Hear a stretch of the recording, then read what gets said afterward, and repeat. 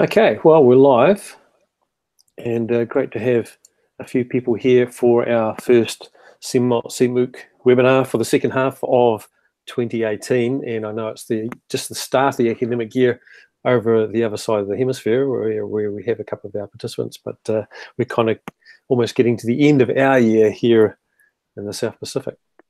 So um, I'd like to welcome Ian, Ian Upton, all the way from Coventry and uh, Ian is involved there with um, academic development and uh, and doing a lot, of expertise in virtual reality. And Ian's been involved with uh, with us several times with the CMOOC CMOOC, and I've got to know Ian by visiting over there, and he's bought me coffee, which has been very good. Very nice.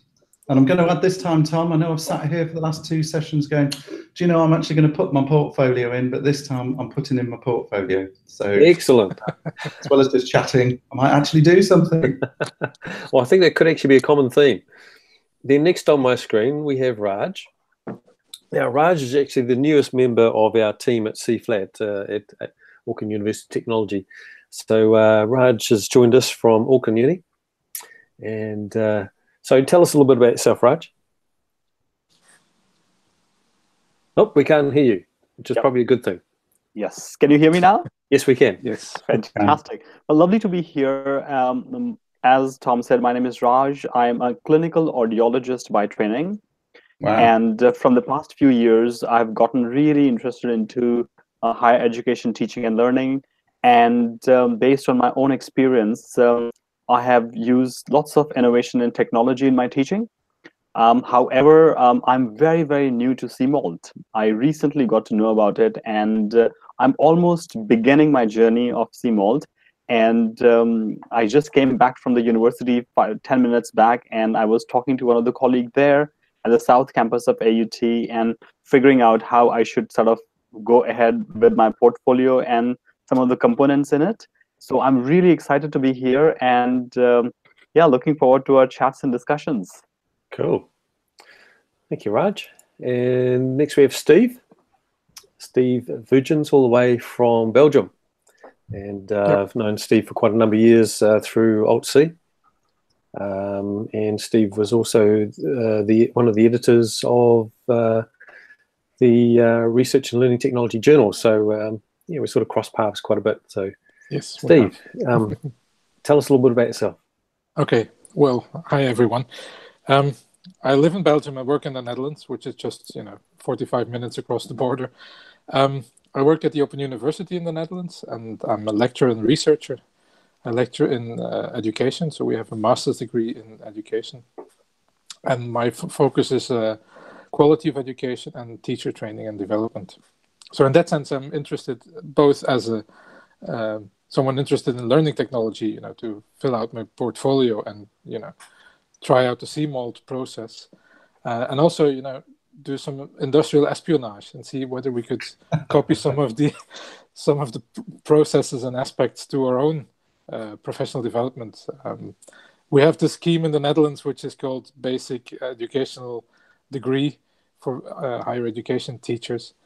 Um, which is also kind of portfolio based. And then we try to supplement that with some continuous professional development. So i'm just you know curious to see how cmalt works but also from a personal professional point of view i'd like to finalize my portfolio and get an extra accreditation if you like. Cool. Yeah. And then we have Todd. Now, Todd Stretton is a physiotherapy lecturer here at Auckland University Technology, and Todd's been working on various projects with us coming up, what, uh, just over two years now, I think, uh, Todd? Yeah, yeah, it has been um, a couple of years. So, yeah, as Tom said, I'm a physio by trade and um, have been working at AUT for uh, just over 10 years now. And um, a conversation really came up with, with Tom and that just trying to work out how to do things differently um, rather than the very didactic um, what we would be doing with two hours of lecture and two hours of lab with our, our students. Um, and with physiotherapy, it's gone through a, um, a time of just looking at doing things differently as a profession as well. So I became interested in the technology there. So um, it just seemed to be a, a good fit um, as it was uh, looking at how technology could be incorporated with with education. Um, and our, our, our, numbers keep on growing. Um, so we have about 200 uh, first year physiotherapists over the, and then um, have four years in our program. So um, it all gets a bit boring if we're doing things the same. So the CMALT has certainly been a way to be able to, as you say, Stephen, get ideas from from others to to see how things could be done differently. And um, I've developed my portfolio through that and uh, hoping to hand that in in the, the next wee while. Awesome. So it's, it's great to see quite a variety of of people and a variety of where people are at as far as their um, portfolios go. So I guess the interesting thing is, um, you know, both Ian and Steve in particular, you guys have been working in education technology for a very long time, mm. um, but never got around to doing your CMALT portfolios. And I guess in a way that's probably a bit like myself. It was only in 2016 that I got around to putting my portfolio in, but um, I found it to be a really beneficial process, and it was a great reflective process as well. Mm. Um, so I really encourage you guys to follow through with that and, and get it done this time. Okay. Um, let me just um, share the screen and uh, so we can look at where we're up to with the with the CMOOC uh, at uh, right now this week.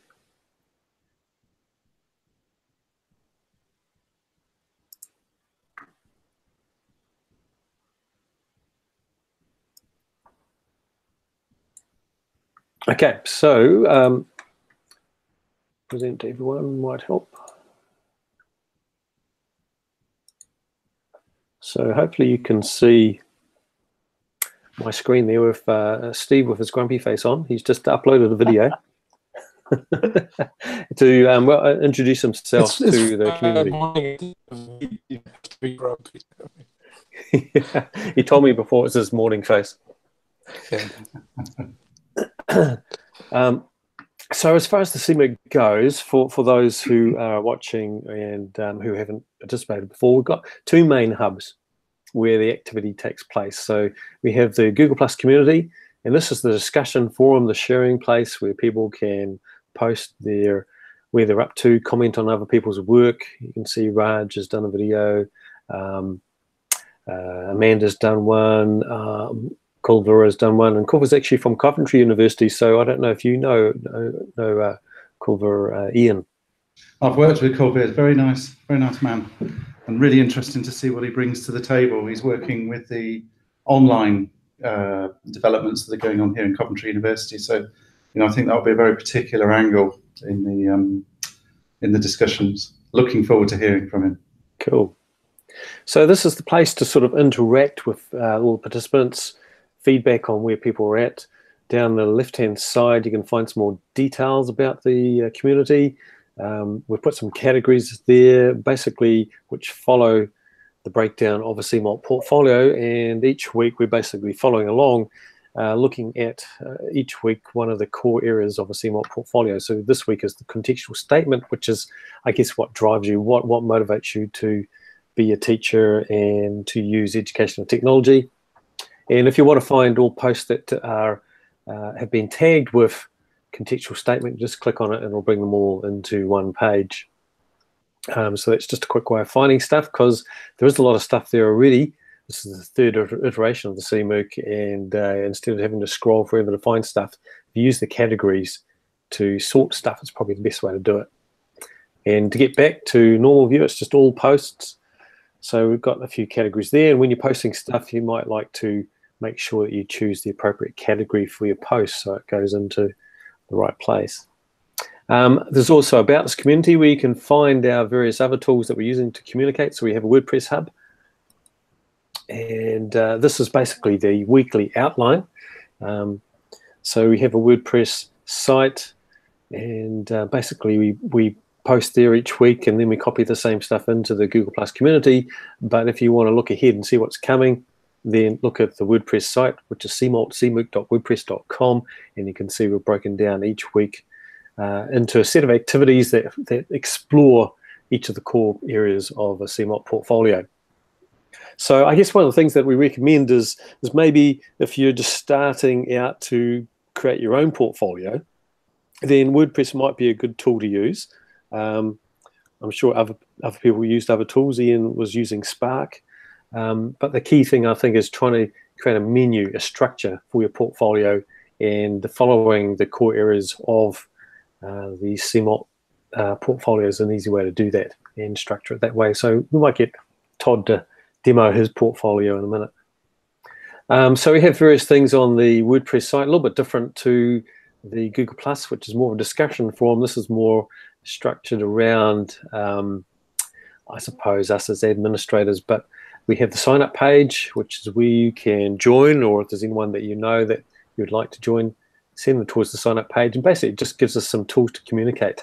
So uh, we suggest Gmail address because we used use Google Tools a lot, uh, including the Google Plus, um, Google Map, where we try to everyone place themselves on the map so we get an idea of context. Uh, a blog, we suggest WordPress, but you can use any blog that has an RSS feed, which is basically anything really. Twitter, because we use it asynchronously, because Ian's always in bed when I'm awake, and you know, vice versa. Um, the function of being on the other side of the world from each other. So it is, it is an international community, and we'd, we'd like to use tools that allow us to do that. So that's why Twitter and, of course, Google Plus, so you can join the uh, discussion forum, the community. Question, Tom. Yes, Ian. Um, I was going through the Google Plus and you had a little competition going on the map. Um, 1,500 views. Has that gone through? Has the prize been won? Yeah, I think we're almost 1,550 now. Oh, um, yeah. Yeah, so, so I think you missed out. I'll have to get but, the um, next, the 2,000 then I'll look forward to. Yeah, yeah. Let's, let's crack that pretty soon. So there, there is a link to the Google Plus map here on the left-hand side about the community on the Google Plus forum if you want to find it. Uh, here we go, participant map. Let's go and check it now. See what number of views we're up to, 1,556. So um, you can see the list of people who have put themselves on the map there. It's not actually everyone who's involved, but uh, it's just a, an option for people who, who'd like to share where they're, where they're from. And we can sort of uh, zoom in and out and see where people are around the world. So we actually have a couple of people from America this year, which is which is awesome. Uh, quite a stack around the UK and Europe, quite a stack in New Zealand, obviously, and then a fair number in Australia, and we have one person in South Africa, which is uh, awesome as well. So we encourage people to maybe put some info onto their profile on the map. You can put uh, imagery in there. It's very simple to add yourself to the map. Um, it's by invitation only, so that's why you need to sign up. Give us your Gmail address, and then we give you access to the map because we don't want it to get spammed. Um, so no crazy people will be able to edit the map. Uh, and then put some maybe a link to one of your profiles there so we can find out more about each other if you want to. You don't have to, but uh, be great to have everyone put themselves on the map. And I think everyone who's in the webinar today actually has, which is awesome. So other tools that we use, um, pardon me for talking so much today, but I guess it's a bit of setup. There is the Twitter, using Twitter, and we use a hashtag. Um, so for any social media that you use, if you're going to use Facebook, not that um, I try to stay away from Facebook, but you know, YouTube videos, any other social media, Instagram that you use, if you use the hash CMALT, CMOOC hashtag, then we can curate that content and bring it in. We have a project bank, which is on our WordPress site, uh, where we encourage people to share elements of their portfolio as examples. Um, so there's a category there for each part of the portfolio if it eventually loads. It's going very, very slowly. This one's hosted at AUT, that's probably why. Um, so we have the project bank and you can see there's an area there for examples from each core area of the portfolio. Some of these have more examples than others. So you might want to target areas that don't have too many yet um, and add to them. We have a lot in contextual statements, which is good. You click on there, you can see some of the contextual statements that have been shared, and you can rate these. So um, I think by default you you get like a one star, but uh, you might want to give yourself more than one star initially. Um, you know, have a bit of a, a, competition to see who can get the most stars and, and uh, most number of views and votes. Um, so we look forward to uh, some contributions there from Steve. So to submit, you basically click on the submit project and then you choose the type of um, content that you are submitting. So you've got the seven different choices there. So yeah, by default, you get a one star. So you might want to give yourself more than one, you know, unless it is really a bad contribution. But uh, anyway, give it a title, give it a description, and then effectively it's just a link to the example you're sharing. So it's a link to your portfolio uh, which is on whatever blog that you choose to use. You can also upload an image to give it a bit of context, or else you'll just get the default CMALT CMOOC um, icon there. Right, um, that's probably enough of all the tools and bits and pieces right now. So any questions from anyone at this point? I'm going to stop my screen sharing.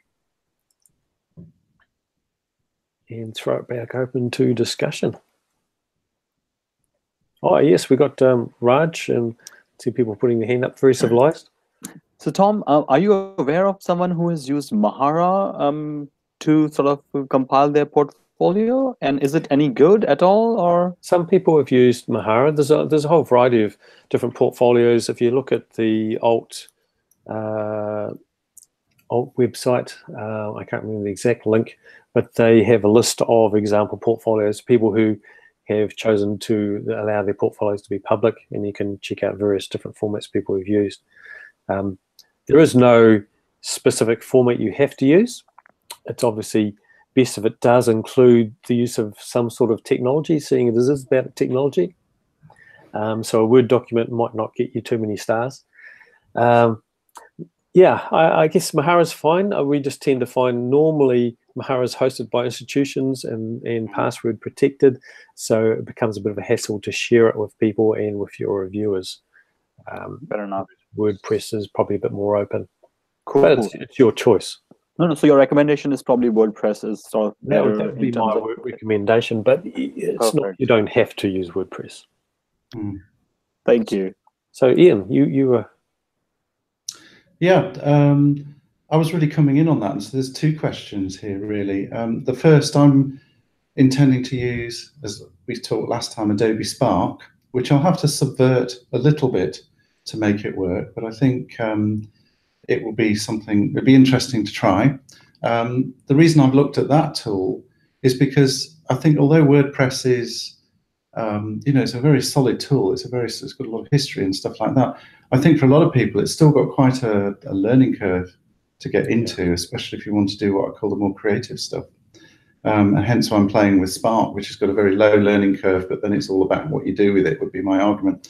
Um, a general sort of question, Tom, is in terms of the portfolio, is it a fairly formal thing that we're being required to put in? Obviously, if it's technology based, it goes with the environment. But do we have the latitude to be a little bit creative with it, bring in the rich medias and things like that? Or would that be something which you say, yeah, it's good fun, use them as examples, but don't use it as part of your core statement? What would you say to that?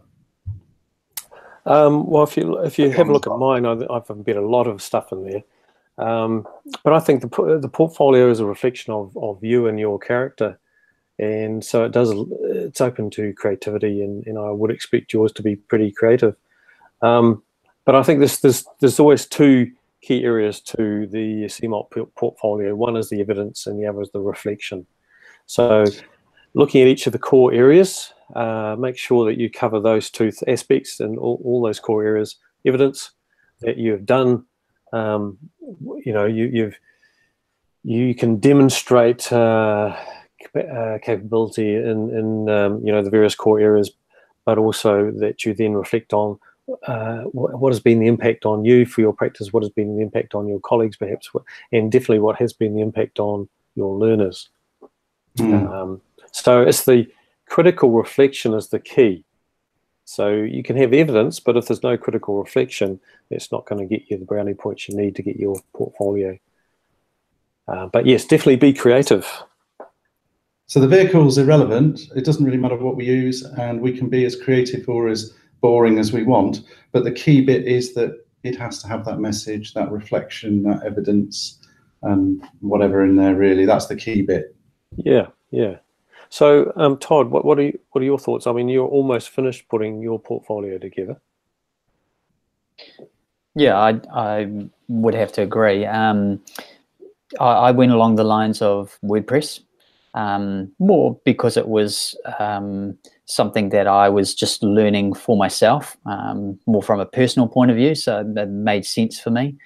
Um, I there was that learning curve in terms of um, playing around with different designs, but that might have been me just having a bit of a play around. Um, but I I think that when you go back to the guidelines and you look at the different areas, um, as Tom pointed out on his WordPress or on the CMALT um, WordPress, um, I, uh, creating menus within WordPress that when that aligned with that helped me to then fit the evidence and and and remind myself each time I was writing a blog. Um, and and as as Tom said, when when you're writing it, um, I, I, tend to go more with a, a, free writing and put in the different uh, pieces of evidence as I go. So whether it be video or something I've done as a how-to list, um, but then going back and and just making sure that you have got that description that you I, I, I, had to be a bit more explicit to say here is where my reflection is and, and put that as a as a statement um, and then being clear as to what the impact has been on either my um, teaching or learning or those that I'm delivering it to. So at, at this end of trying to pull the portfolio together, it's been a matter of going back over the the blogs that I've had and put those little bits of evidence together to make sure I've got those three components. Um, yeah, so I was probably a little bit more absent-minded at the time, but it, it allowed me to get something up there, and um, it, it, seems to be coming together okay now. So I think the as far as the contextual statement goes, um, that that's not an assessed part of the portfolio, but you have to have one. So it's kind of like the precursor, the introduction to your CMALT portfolio. Um, so it's a necessary item to include, and it kind of points, I suppose, to the reviewers the um, you know the direction the rest of your portfolio will take. But um, that, that doesn't get formally assessed. So you can probably be quite creative with your contextual statement in. Mm. Mm. Um, but yeah, sort of think it of think of your contextual statement as it's it's a story about you it's um, what motivates you, what drives you, what has informed your practice, what are the key, you know, eureka moments uh, um, that, that, that then inform uh, your practice and your interaction with learning technologies. So, Steve, I mean, Steve's right at the start of his. Yes, I was just looking over your portfolio, Todd, and you appear to have used uh, pages on WordPress instead of blog post. Is that correct, or is it a combination of both? Or have you just structured your blog post into a, a menu? Just a technical question. That's yeah, yeah. Um, so, so what I did was I set them up as blogs first. Um, I put in the the Twitter um, hashtag on them so that that then went to uh, the likes of others, and I, I, created an IFTTT so that it automatically went through the Twitter as well and onto the Google Plus. Um, you but can also make I, a direct link to uh, LinkedIn as well. So when you post, it can uh, you know end up in your LinkedIn profile too. Right. Oh, yes. yeah. So I haven't done that, but um, but then once I had sent off the the post, um, I then went to the page that I saw it as being the best fit for, and then um, typed in a few words and then hyperlinked it to that blog. Yeah, so there's my blog post page, but then right, there's the page, different pages for the portfolio, and I've just hyperlinked them. Mm-hmm. Really, just so that I didn't duplicate. Mm. So I think that's probably the hardest part of using WordPress is setting up your your menu structure yeah, and your exactly. pages and and um, sometimes you're going to end up with duplicate pages if you're not careful and you end up mm. editing the wrong one and so you, you, you know you look around and see that hasn't changed because it's actually not the one that's referenced in your menu.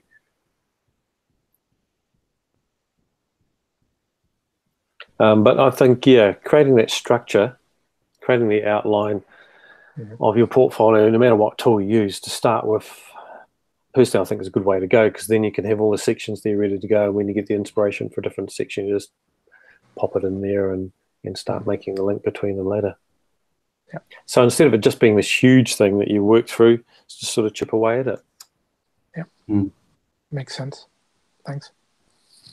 So, um, yeah, Todd, did you want to just quickly screen share uh, a little bit of your portfolio?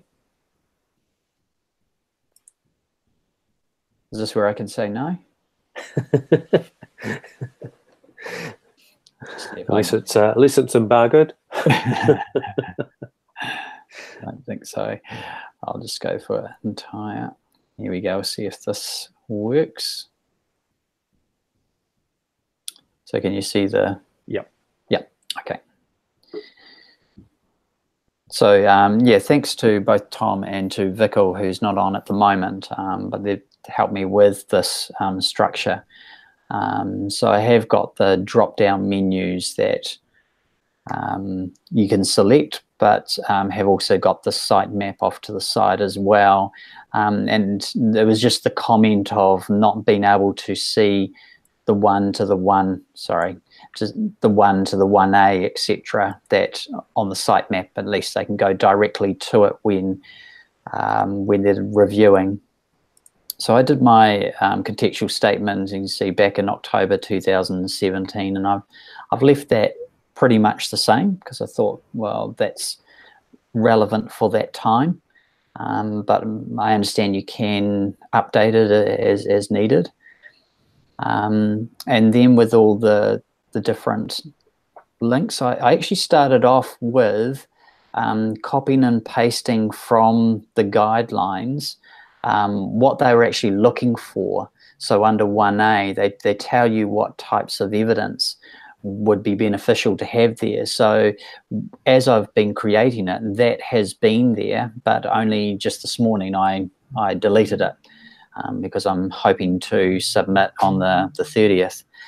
Um, but then with that have got the different points of evidence that have gone through. So my experience as far as just starting up with 360 cameras and using SeekBeak. So as you can see, I had the hashtag in there, so it meant it went to the right people.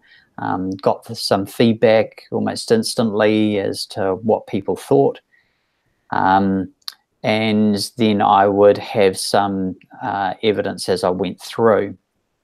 Um, so where I might have done something like a, a cheat sheet to help demonstrate maybe another area in terms of deployment and support, then you know this was something that went out to staff so that they were able to use with the cameras that we have available. Um, so just trying to make those links as as I went. Um, I've also got the uh, so with the different sections. Um, so whether it be certificates that needed to be added in, um, what else have got there? The one that I actually found the hardest was in terms of the wider context. So looking at that engagement with policy and procedures. Mm. Um, so I, I, reflected on some of the legislation here in New Zealand and what we need to do as health practitioners.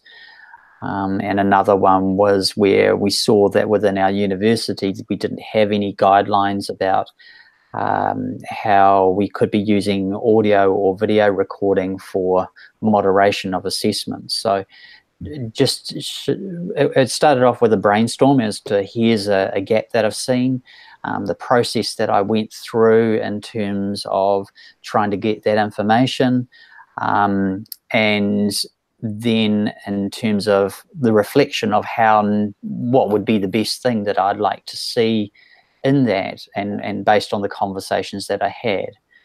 Um, and then again, it goes into the evidence for it, and including the likes of emails that went to and from different people, and then um, the memo that will go to the board of studies in terms of how we might um, have this eventuated as as a part of policy. So, and I think one one of the key things with um, putting together your portfolio is just remembering all the time that it's not about the technology. So, mm-hmm. it's not about um, using technology by itself. Uh, it's not about teaching about technology. It's about teaching with technology and how technology can enhance teaching and learning. So that's the key thing: is that critical reflection around how does technology enable ways of teaching that you couldn't before, or make it easier, or how does it get in the way? Um, what are the constraints? What are the benefits? Um, rather than just uh, you know teaching um, about technology, but it's teaching with technology. Ian. It was just a comment, Thom, really. Um, it's one of the things we sort of focus on here in the sessions that we do is that we sort of open people's eyes up to technology, um, but it isn't always necessarily a good thing. And I'm wondering if in the portfolio, for example, you've had an experience where you've thought, well, I could bring in this particular technology to perhaps enhance some teaching in some way or use it as a tool, but actually it turns out to be a complete and utter flop it doesn't work. Um, is it is that kind of experience something that one can bring to bear in one's reflections? I've I've never had a flop. um, no, that's not true. That's not true.